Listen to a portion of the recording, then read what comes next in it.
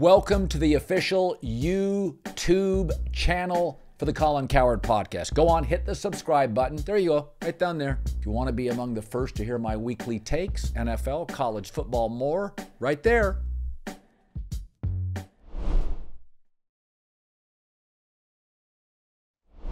Well, you know, there are many that claim simply because of my proximity to the University of Southern California that I am a Trojan homer. Well, these claims, egregious as they are, also took place when I worked at another sports company 3,500 miles away. Um, I will admit that I was a Pac 12 fan growing up, and I've always rooted for the top dog in the Pac 12 to represent my region of the country where I was born and now live.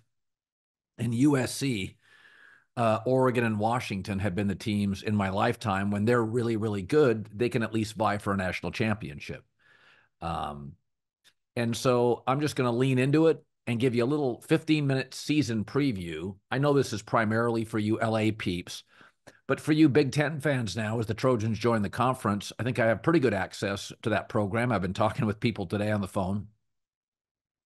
So I think schedules are really important for good teams, not nearly as important for great teams. I think Ohio State, Oregon, uh, Georgia, Alabama are just going to win a lot of games, period, regardless of where they're played.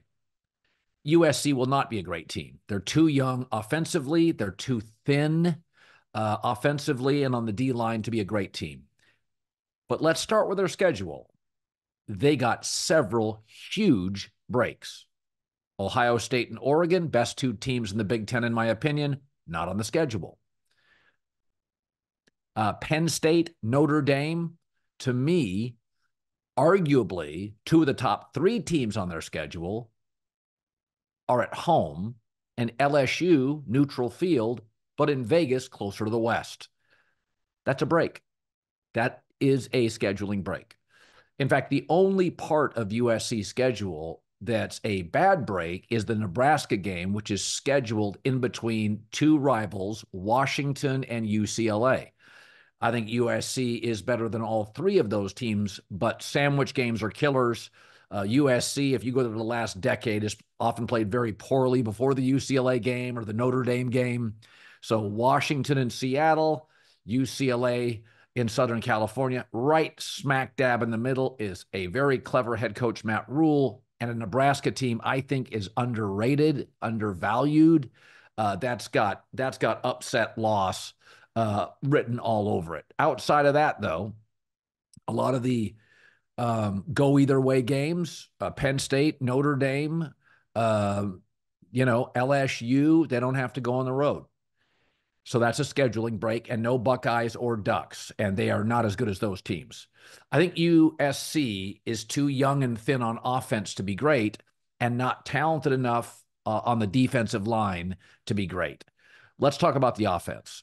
So they've got four sophomores who will get a majority of the reps at wide receiver. Uh, all of them talented. Uh, Branch, uh, Deuce Robinson, um, Lemon, uh, Lane, unique body types, some more possession than others. Deuce Robinson's a great baseball prospect, uh, tight end, hybrid wide receiver. They put him out wide. They're tough matchups. A lot of different body types, all sophomores, all really, really good four and five star prospects. Not a lot of depth behind them, but um, I I think they'll get a majority of the snaps. All are capable of beating coverage. I think Miller Moss is very coachable. There'll be less ad libbing. It will look more like a Lincoln Riley offense. Now, what do we know about him? Uh, he was dominant against a pretty uninspired Louisville team in a bowl game where those young receivers flourished. Um, the offensive line, again, really talented. A lot of four star recruits. Uh, Elijah Paige, left tackle. Uh, they flipped him from Notre Dame at the very last second. He's a redshirt freshman. Uh, I think he's their second most talented offensive lineman. to uh, Monheim, who will be one of the top five centers in the country. He's moved around the offensive line. I think he anchors it at center. I couldn't tell you the last time USC had a really high end NFL caliber first or second round center. Been a while. Um, and Monheim will anchor it. Paige at left tackle is exceptional, but young everywhere across that line. It's sophomores, redshirt freshmen, um, some actual decent depth on the interior, but most of it unproven. But again, these were highly acclaimed um, prospects that USC beat out bigger schools or big schools, big brands. And so, and, and I've been told the coaches like what they see up front. But this offense is not deep. It at running back, talented, not deep. At tight end, not that talented and not that deep. So it's not going to be a dynamic offense like we've seen the last couple of years, but I think it can be uh, um, at times a ball control offense. I think there were times last year with Caleb Williams that the staff didn't want to get him hurt once the national championship was out of reach. Um, there were some calls they wouldn't make. Uh, you know, Caleb was running for his life, breakdowns on the offensive line. I can tell you the staff really likes the talent level of this offensive line. They were greatly disappointed in last year's unit. But again, it's a really, really, there's a lot of stuff here uh, body type, speed, dynamic running backs. It's just thin. Um, and I've said this before uh, Jim Harbaugh could double Brady Hoke's wins the first year at Michigan. Brian Kelly could do the same at Notre Dame. But those teams really didn't look like a Georgia or a Bama or an Ohio State until about year six for Harbaugh, year six for Brian Kelly. USC fooled a lot of people with Caleb Williams. They were a play from 12 wins the first year. They were not a they were not an 11 win team. Oh, that may have been their record, but it was a lot of Caleb Williams, Jordan Addison, and you know, people in the Pac-12 didn't know what to make of Lincoln Riley. I'd never faced him before. He had a competitive advantage. Um, last year came back down to earth. Miller Moss, more than capable, four-star kid, good body size, decent arm, uh, willing to throw the ball down the field. I think he'll be really strong, but it will be a different offense.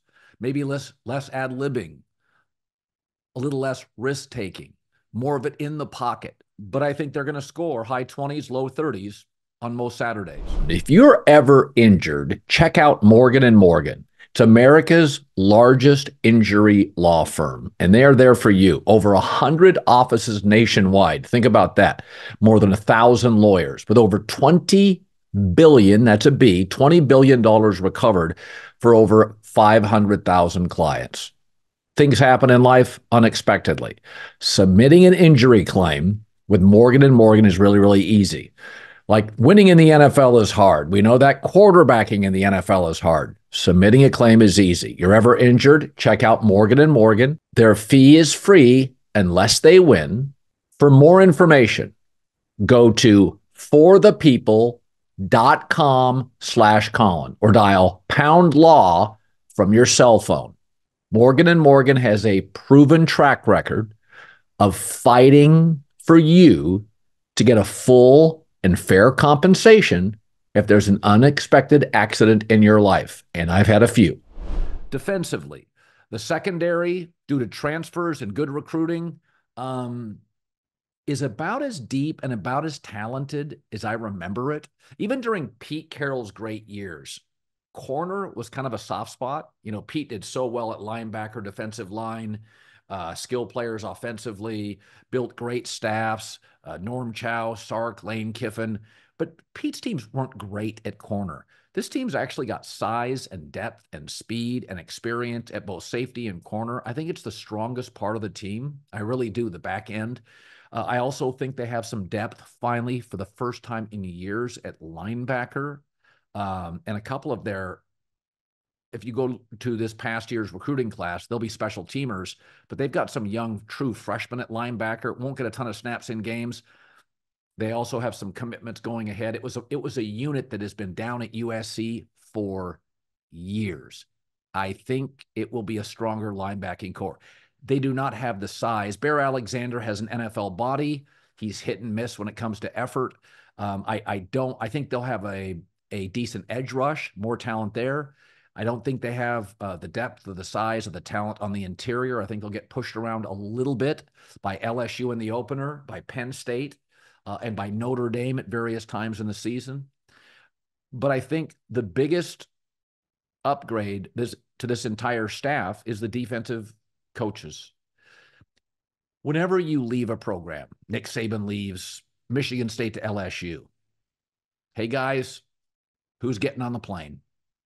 Who's getting on that booster's jet or that school jet and flying to the new job? Whoever gets on that jet on your staff, you're not going to move their family for one year. There may be guys getting on that jet that you wouldn't have chosen, but Alex Grinch got on that jet as a defensive coordinator for USC. And Lincoln Riley was disappointed after year one, um, suffered greatly in year two. They have significantly paid for and upgraded the defensive staff. I talked to two people that have been at practice this week, and they said they think the defense, especially early in the season, will lead the team. It will not be the offense. The offense is young. The feeling with USC is the offense will get better as the season progresses, but it will be the defense initially that carries the team. And that's hopeful because Michigan is very early in the season in the first month. They are really rebuilding that offense. LSU lost two world class college receivers and an excellent number two pick in the draft, Jayden Daniels at quarterback. And this LSU program, like USC, can't get their defense right. So facing LSU first game, bit of a break. They could be really good. I don't think they'll be great early. Um, and I don't think USC offensively will be a great team early. That'll grow. But I think what I'm hearing um, and what I'm seeing at a camp from people I really trust is the defense has really come together. It's been simplified. There's been an elevation of coaching. And I and I when I looked over the schedule today, I said LSU's a coin flip uh, they're favored LSU by six. So let's say it's a loss. I think they beat Utah State, Michigan, and Wisconsin, and at Minnesota. I think they lose to Penn State. I think they beat Maryland, Rutgers, and a close one over Washington. Washington in a complete offensive rebuild, though I do think Jedd Fisch is a really talented offensive coach. Nebraska, I'll put that as a loss. It's a sandwich game. They beat UCLA, lose to Notre Dame. So I have four losses. Um, eight wins. And that's kind of that's kind of where the DraftKings and Vegas has them. Um, I think the offense by the end of the year will be very hopeful. I think the defense initially will stand out as a major upgrade. Um, but I, I've tried to pump the brakes for all the people that are critical of Lincoln Riley. First of all, there's a lot of good news at USC. The collective may not be Texas or Oregon, but it's around 13, 13 and a half million. And if they if they beat LSU, if it feels very good up to that Penn State game, which is a toughie. Penn State is, to me, the third most talented team in the conference behind Oregon and Ohio State. Um, it's at home, it's at the Coliseum, but it's a tough one. Um, you know, that collective may improve. Fans, boosters, donors can be fickle based on momentum of the program, momentum of the program. So, you know, I think there's the collective's good. I think Jen Cohen and Lincoln Riley have some symmetry now. May have been bumpy early. They have some symmetry. I think the defensive staff has been upgraded. I think uh, the freshman class that just came, arrived here in fall camp, has some real size in the defensive front.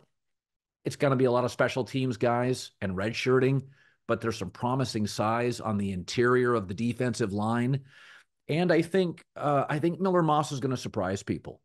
Uh, Miller's a guy that uh, I had been in a conversation with him and a friend about a year ago, and you know it was tough for him. Not that he was considering transferring, but it had it had gone through his mind that he knew he wasn't going to play much at all last year, and it was tough for him. He was a, a very ballyhooed local recruit, but um, I think he was smart to stick it out. I think he's talented, and I think you saw it against Louisville. And again, he's he's a risk taker. He's he's not he's not going to play it safe. He'll he'll let it rip. But I think the offense will look different. It will look more conventional. Uh, it will look a bit maybe more predictable, uh, less out of the pocket, and that's okay. I felt, you know, I said this with Matt LaFleur and the Green Bay Packers with Aaron Rodgers. It felt like a 50 50 split half Matt's offense, half Aaron. Last year with Jordan Love, I felt like it was Matt LaFleur's offense. At the end of last year, mid to the end of the year, I thought it was Caleb's offense. Right, right. I thought the first year was a combination of Caleb and Lincoln. I, I, I thought there were times last year it, it kind of felt like Caleb was doing what Caleb wanted to do. And as we've seen in the preseason, that's okay. That's not Miller Moss. Um, but I think it'll take a step back in terms of being dynamic, but it'll work. And I and I I still contend that Lincoln Riley's one of the smartest offensive coaches in football. Uh, is he a great culture builder, staff builder? That's yet to be seen. But the expectations off that first 11 win season, which could have easily been 12 if they hold the lead in the last 45 seconds against Tulane, raised the bar beyond reasonable expectations. Third year at Michigan, Jim Harbaugh won in only eight games, and they were losing to Michigan State and getting clubbed by Ohio State. This stuff takes time. The idea that the transfer portal is this magic elixir, go ask Deion Sanders, Brian Kelly, or Lincoln Riley. You can improve. First of all, people that leave programs, there's usually a reason, mostly except quarterbacks. Um, you know, quarterbacks generally they're, they're going to go find the best coach available, the best receivers available. A lot of receive a lot of quarterback moves in college football. I get they're upgrading to better coaches and and better programs, but a lot of transfers in the transfer portal. Um, nobody's losing any sleep when they leave. I mean, if you're a USC fan, look at all the players that have transferred out of USC. How many stars did you lose? Super valuable players you know, players transfer when they're not playing or when they're unhappy with their situation. So I think there's limitations on cultural development, uh, chemistry. Um, you know, Jordan Addison and, and Caleb were obviously home runs. Who's the third best transfer they've had? Seriously. So uh, I think I think Brian, Deion, and Lincoln are all sensing that high school recruiting has to be the backbone of your program. So there you go. Say it again. Lose close to LSU, close to Penn State, Notre Dame in that sandwich game against Nebraska. But I see eight wins. Don't get into the playoff, but you'll feel good when the season ends. The offense is young, getting better. You got your quarterback, and the defense finally has a legitimate coaching staff.